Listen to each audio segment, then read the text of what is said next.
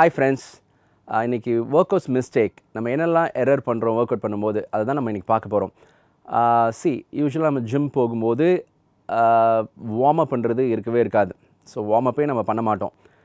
ஸ்ட்ரைட்டாக போன உடனே I don't have a time நான் சீக்கிரம் போகணும். அதனால் வார்ம் அப்லாம் கிடையாது. Straight away see warm up பண்ணுறது ரொம்ப இம்பார்ட்டன்ட் நீங்கள் நைட்டெல்லாம் தூங்கி இல்லை டே ஃபுல்லாக ஒர்க் பண்ணி உங்கள் பாடி பார்த்தீங்கன்னா அந்த ஃபுல்லாக கூல் டவுன் ஆகிருக்கும் ஃபுல்லாக கூல் டவுன் ஆகிருக்கும் நீங்கள் மார்னிங் எழுந்து ஜிம்முக்கு வந்து உங்கள் மசிலுக்கு ஒரு நியூ ப்ரெஷர் கொடுக்க போகிறீங்க எக்ஸ்ட்ரா ஒர்க் கொடுக்க போகிறீங்க அப்போ அதுக்கு வார்ம் அப் அந்த அந்த மொபிலிட்டி அந்த ஜாயின்ஸுக்கெலாம் மொபிலிட்டி வேணும்.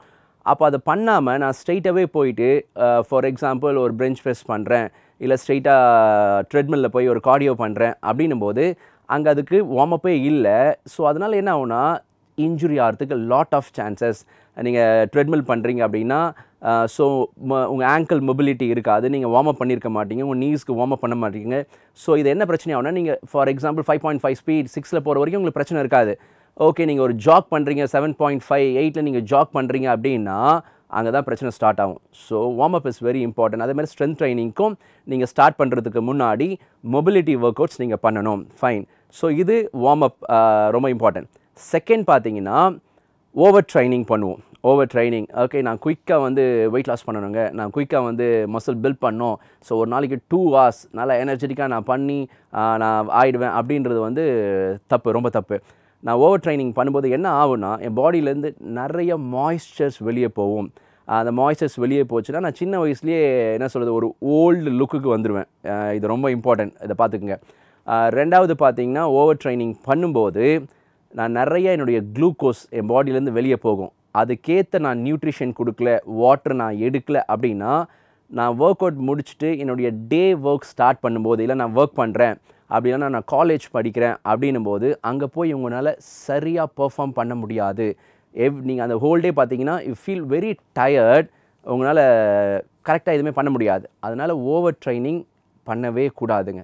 One hour is the best time உங்கள் ஒன் ஹவரில் நீங்கள் என்ன ஷெட்யூல் பண்ணுறீங்களோ நீங்கள் ப்ரோக்ராம் பண்ணி ஒன் ஹவரில் நான் ஜிம்லேருந்து வெளியே வந்துடணும் இல்லை நீங்கள் வீட்லேயே பண்ணுறீங்க ஒர்க் அவுட் ஒன் ஹவரில் நான் என் ஒர்க் அவுட்டை முடிச்சிடணும். நீங்கள் அப்படி பண்ணிவிட்டு after fifteen twenty minutes you have your meal நீங்கள் உங்கள் டேவை ஸ்டார்ட் பண்ணிங்கன்னா யூ ஃபீல் பெட்டர் அண்ட் என்து நல்ல எனர்ஜெட்டிக்காக நீங்கள் இருப்பீங்க.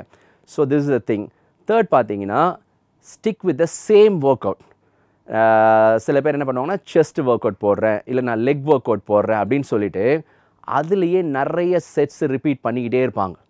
அது எனக்கு டெவலப் ஆகணும் அது எனக்கு டெவலப் ஆகணும். சி ஒரு மசிலுக்கு இவ்வளோ தான் ப்ரெஷர் கொடுக்கணும்னு இருக்குது நான் அதுக்கு நிறைய செட்ஸ் போடுறேன். I stick with the same workout அப்படின்னா அது பேர் பண்ணாது. அந்த மசில் பேர் பண்ணாது.